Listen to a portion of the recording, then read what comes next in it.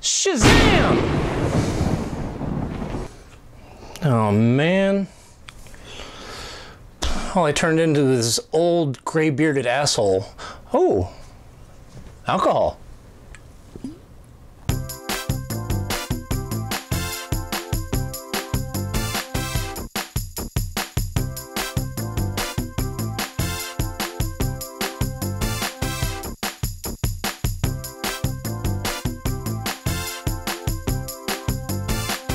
Hello, everybody. Welcome to Drinks and a Movie. Chris Hampker here with you. Today we'll be talking about the new DC movie Shazam. But first, let's start with a drink, of course. And today's drink we'll be doing is called the Electric Lightning. And the Electric Lightning is pretty simple. It is uh, vodka and, uh, and kind of lemon lime soda mixture.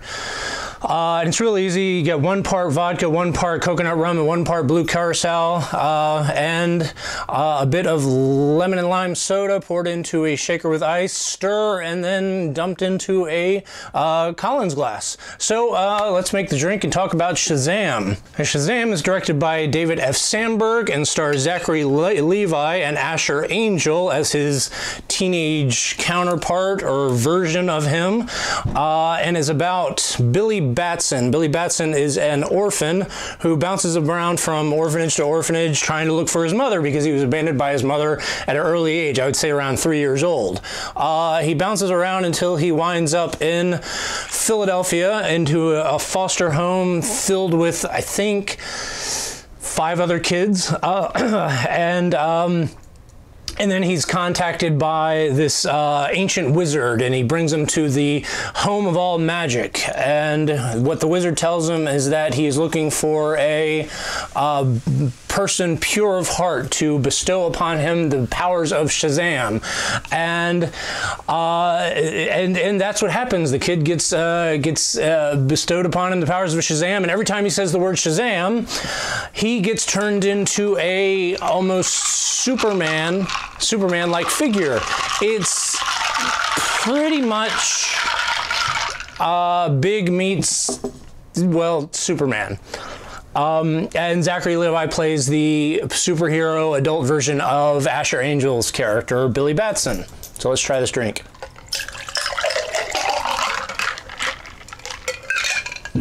Have a little left over, just like a Sunday.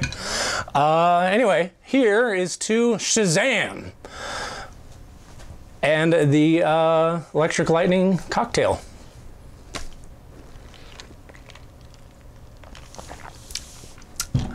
That's delicious.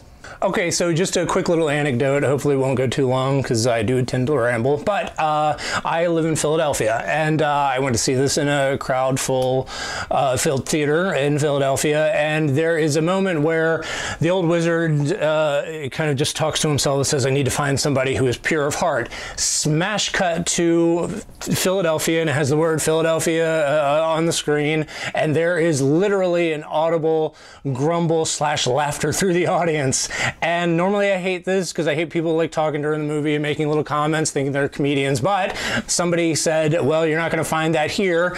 And it is one of the funniest little theater going moments I've ever had because that's Philadelphia for you. It, uh, it's, it's a city that brought you this and this. So there you have it. All right, so let's talk about Shazam. Right off the bat, son, I'm gonna say I love this movie. You see what I did there? Because the kid's name is Billy Batson. It's it's it doesn't matter. Uh, so to me, this movie is the very definition of fun, joy, and excitement of its subject matter. Even more so than Henry Cavill's uh, Superman. And uh, it it is such a nice fresh breath uh, breath of fresh air, honestly, uh, for this uh, DC universe.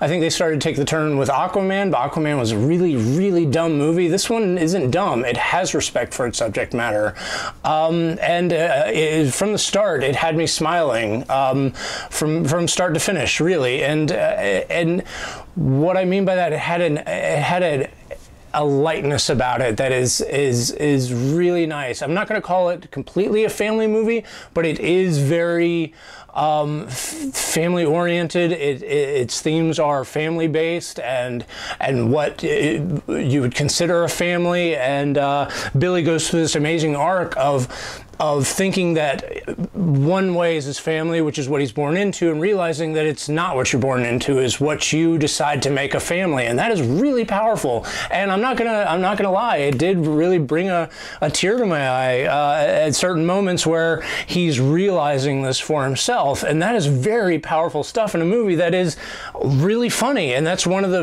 big pluses of this movie. It's hilarious, and so in one of the ways it's so funny is through Zachary Levi's performance uh, of the adult version of a teenage uh, uh, Asher Angel, uh, Billy Batson. He is perfect in this movie really does cash in on a lot of the the jokes and the funny scenarios you could come up with uh, when uh, a teenager has has the the body of, a, of an adult and the powers of a, of a super being. I mean, he's essentially Superman who can also shoot lightning out of his hands, which is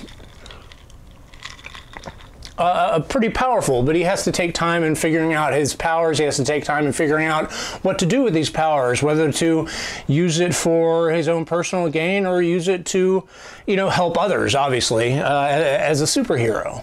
So a couple of the other performances that I wanted to highlight besides Zachary Levi and Asher Angel, um, Billy Batson and Shazam respectively, is Jack Dylan Grazer as Freddie Freeman, who is uh, uh, Billy's sort of uh, sidekick slash foster brother slash uh, expert of the uh, superhero genre that helps Billy figure out his his Shazam powers and is sort of his his uh, person to have banter with, and they're so funny together. There's a lot of great scenes with them, and their chemistry is wonderful. Another one of the great performances are his foster parents, played by Marta Millan and Cooper Anderson, who skirt the line of being kind of almost sugar coated perfect, uh, but also uh, parents that you don't want to mess with and kind of have a good handle on what they're doing with these foster kids. And I, I, I think they played that beautifully. I mean, these guys weren't too much, uh, uh but but also were very likable and. Um, and I just I just loved watching them and watching the dynamic between uh, between them and Be- Billy and uh, and Freddie. So I've gone through so many things that I like. And I haven't even mentioned the set pieces and the action in this. And it's a comic book movie, which most comic book movies kind of lean on those uh, moments. And this uh, this movie's no different. It uh, it, it, looked great. Um, Shazam's costume is ridiculous, but I think it's supposed to look ridiculous, but it didn't look so bad where it took you out of the movie. It just looked like you know, a, a, kid's imagining of what a superhero would look like. Uh, and, uh, and they didn't have a huge amount of money to work with, and so I think they got creative with a lot of things. And, and they also set the set pieces in the real world and not just on a green screen. And I think that was so smart. It makes everything feel so much more real and uh, more enjoyable. So as you can tell, I really love this movie, and I I I, I didn't struggle to find a negative, but I do want to mention something about uh, about the movie that uh, there. Uh, there, there's the, the three main characters, which is Zachary Levi Shazam and Billy Batson. Well, I guess it's, it's one. Uh, there's um, uh, Freddie's character, uh, and then there's Dr. Sivana. Um, but then there's also the foster home, which has five other kids in it. I think it's five. I'm probably forgetting one, and I'm going to sound like an idiot, but I think it's five. Five other kids in it that. Um, when together as kids, they didn't quite have the chemistry that you would want kids to have that have been living together for a while or been around each other for a while. They didn't feel like um, kids like from the Goonies or from uh, um, Super 8 or from It or from Stranger Things who just felt like that they were, they, that they've known each other forever. Um, they didn't have those moments where they were like talking over each other or had banter or anything like that. And it just felt like a group of actors getting together and saying their lines sometimes. And so that felt a little off. Um, and I wish their chemistry was better because if their chemistry would have been like those movies I mentioned, it would have been just off the charts incredible. So, look, all in all, I love this movie. I did. I, I, thought it was great from start to finish, and I cannot find too many faults with it, which is um, surprising for me. I can usually find something that I go, hang on a second, uh, but this one I can't. I'd, I'd say really close to like Wonder Woman neck and neck as being maybe my favorite DC EU movie. I mean, Wonder Woman had a, a, bit more gravitas and a, and and and that uh, the No Man's Land sequence is still uh, incredible and probably better than any sequence in Shazam. However. Uh, Shazam doesn't have the third act problems that Wonder Woman has. It's its third act and its finale is creative and did some things that really surprised me. Um, so, uh, but and I also laughed throughout and had these these nice weighty emotional moments. Uh, I, I, love this movie. So, big recommend from me. Thank you so much, everybody, for joining me. Have a drink on me, everybody. Bye bye.